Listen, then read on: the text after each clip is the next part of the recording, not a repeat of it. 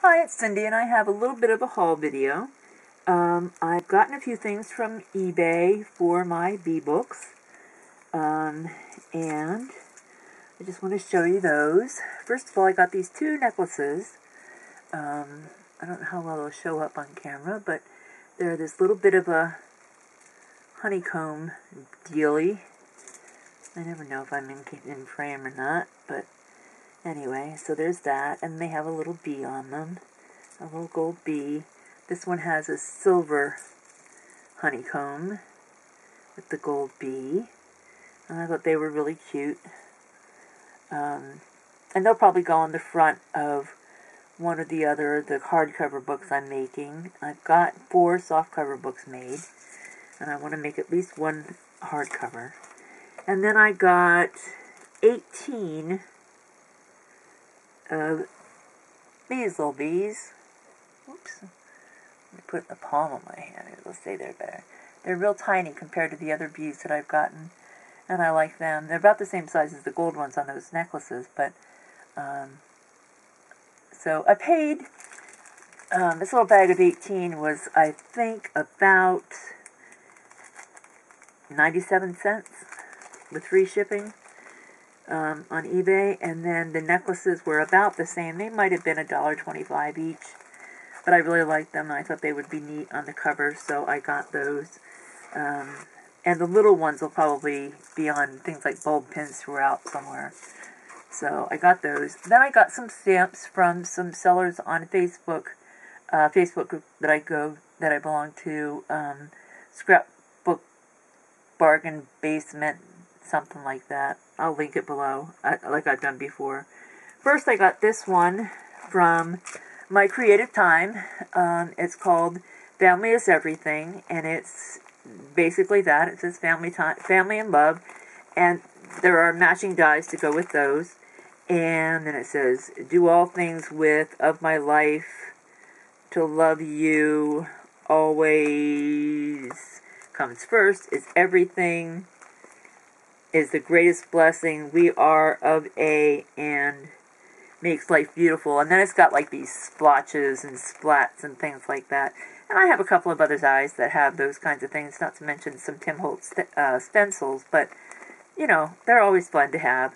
So I got that. I think I paid $5 for that. So I it was 8. It was $8 and then another 2 for shipping, I think. So it was right around $10 and I thought for a stamp and die set um, that I think I'll get a lot of use out of, that that was worth it.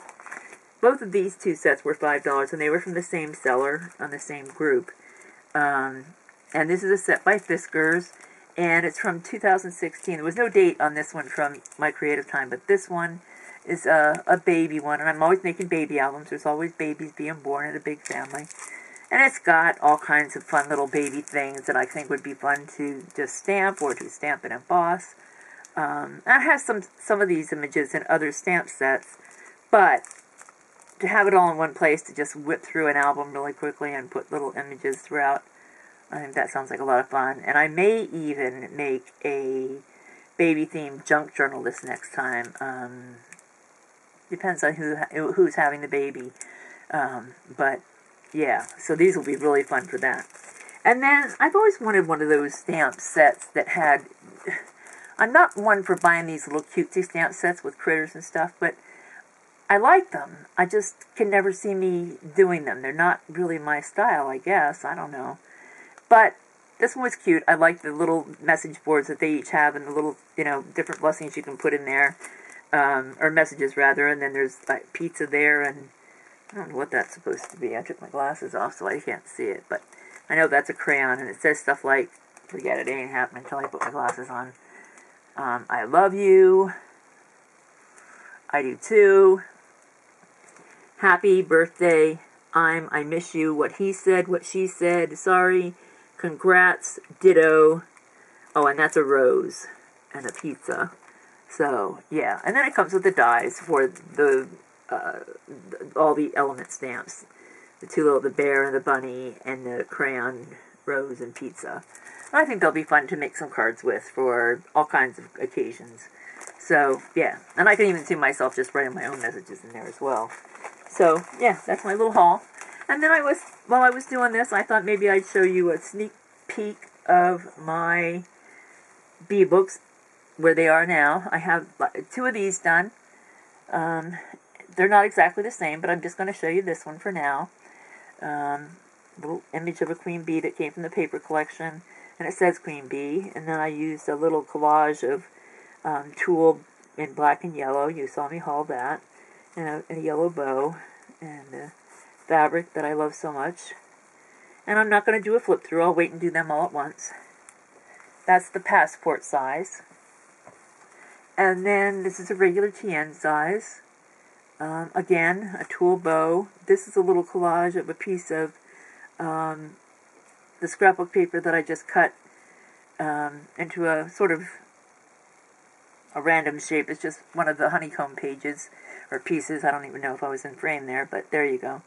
Um, and this this beautiful queen bee um, piece that I got off of eBay, and um, and then a piece of cheesecloth behind that.